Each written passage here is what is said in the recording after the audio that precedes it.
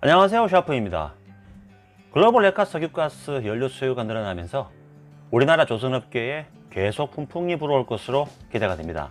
글로벌 에너지 기업 쉘은 최근 발표한 LNG 전망 보고서에서 2040년까지 글로벌 LNG 수요가 7억 톤에 달할 것으로 전망했습니다. 특히 중국을 중심으로 LNG 수요가 크게 늘어나면서 전 세계에서 차지하는 아시아 점유율이 약 75%에 육박할 거란 분석입니다. 이는 아시아 국가들이 자국 내 가스 생산 감소와 함께 대기오염 개선과 목표 달성을 위해 탄소 배출량이 많은 에너지 자원을 LNG로 대체하기 때문이라고 합니다.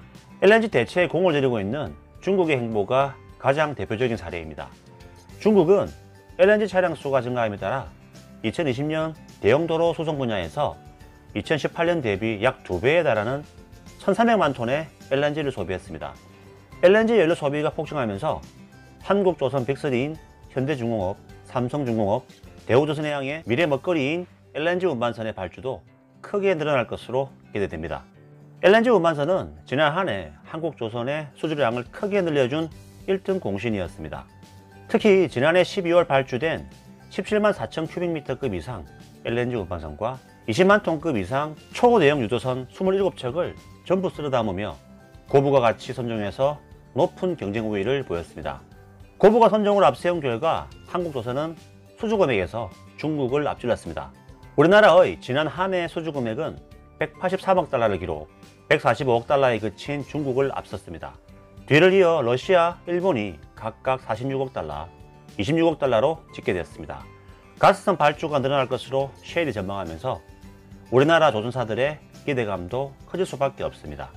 쉘은 LNG 운반선 역시 증가 추세로 2023년까지 2배 이상 증가가 예상되며 글로벌 LNG 벙커링 선박수는 45척에 달할 것으로 전망된다고 말했습니다. 코로나19 여파로 지난해 LNG 생산량이 기존 예상치를 크게 밑돌았다는 점도 향후 전망을 밝게 하는 요인 중 하나인 것 같습니다. 지난해 LNG 생산량은 300만 톤으로 기존 예상량인 6천만 톤과 비교해 크게 줄었습니다. 쉘은 신규 생산량이 기존 예상보다 줄면서 2025년 이후 수요와 공급 사이의 격차도 벌어질 것으로 보인다고 분석했습니다. 하지만 지난해 코로나19라는 전례 없는 상황 속에서도 LNG 거래량과 가격은 최대치를 기록했습니다. 쉘에 따르면 지난 한 해 LNG 거래량은 전년 3억 5,800만 톤 대비 소폭 늘어난 3억 6천만 톤으로 집계됐다고 합니다. 코로나19 확산으로 글로벌 국내 총생산이 소조 달러 규모가 감소한 걸 고려하면 그래도 선방한 셈인 것 같습니다. 더불어 2020년 초 글로벌 LNG 가격은 역대 최저로 곤두박질 쳤지만 아시아 지역의 수요 회복세와 함께 겨울철 줄어든 공급 대비 구매가 증가하면서 지난 6년 이래 최고치를 기록했다고 합니다. 쉘의 마틴 베슬라 부회장은 LNG는 지난 한 해 동안 코로나19로 유례없이 어려운 상황 속에서도 높은 회복력을 보이며 세계가 필요로 하는 유연한 에너지원으로 사람들의 삶에 동력을 제공했다고 말하기도 했습니다.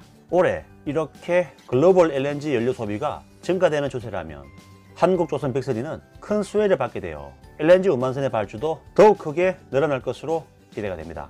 오늘 영상은 여기까지입니다. 감사합니다.